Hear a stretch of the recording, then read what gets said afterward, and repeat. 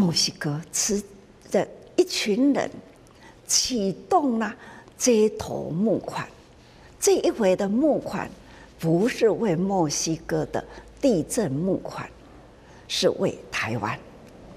他就开始在报道了台湾曾经在墨西哥这么的严重的灾情时的时刻，慈济人从台湾来，还有其他国家去投入，是如何如何的帮助，又再重报一次。那这一回，他们已经呢都在街头在做募款，南投很多都是农务农的。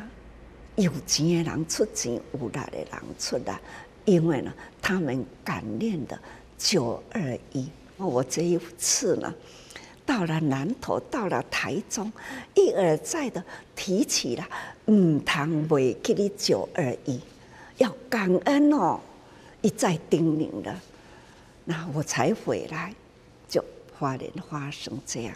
现在他们真的莫忘九二一。要懂得感恩，现在他们已经表达出来了。